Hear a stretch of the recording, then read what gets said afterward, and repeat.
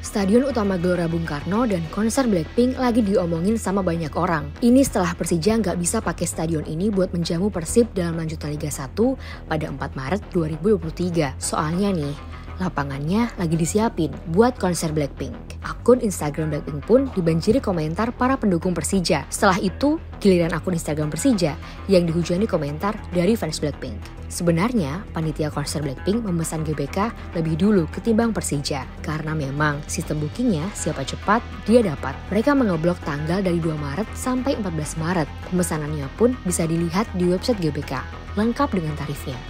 450 juta per 12 jam untuk weekday dan 500 juta per 12 jam untuk weekend. Nah, jadwal pertandingan Persija versus Persib baru dikeluarkan pada 2 Januari. Dalam jadwalnya pun, laga itu tertulis digelar di Stadion Patriot Candrabaga Bekasi, bukan GBK. Kalau dilihat sejarahnya, sejak dibangun, GBK sudah jadi venue buat berbagai acara, bukan cuma sepak bola. Selama ini juga udah banyak konser yang digelar, mulai dari One Direction, Guns N' Roses, sampai Raisa. Bahkan, GBK juga dipakai buat kampanye politikus.